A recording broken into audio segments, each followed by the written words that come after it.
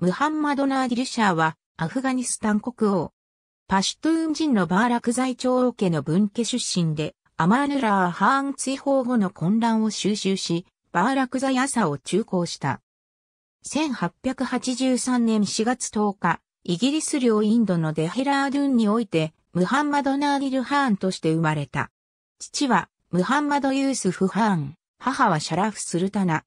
彼の成果は、アフガニスタン・バーラクザイ・アサの王家の分子である、ムサーヒバーン家である、正常を安定させることはできず、1929年10月13日、兄のシャーワリー将軍に王位を譲り、シャーワリーはムハンマド・ナーディルに王位を譲った。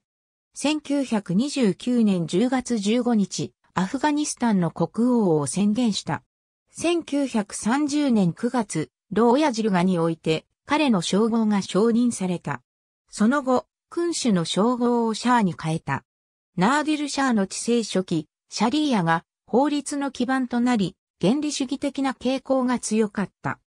立法及び宗教指示の執行を監督する、ウラマー会議が設置され、さらにイスラム教で禁止された食料品とアルコール類を取り締まるワジーラとアルイフティサーブのような機関も設置された。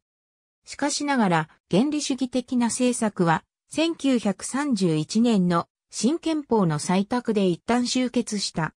憲法の第一条はイスラム教スンナ派、ハナフィー学派を国教として宣言した。憲法により義務教育は、ウラマー階級の手に移り、選挙権は男性にのみ付与された。また、反、ハザーラ人政策を行ったためハザーラ人の反感を買い、1933年11月8日、ハザーラジンアブドゥル・ハリークにより暗殺された。ありがとうございます。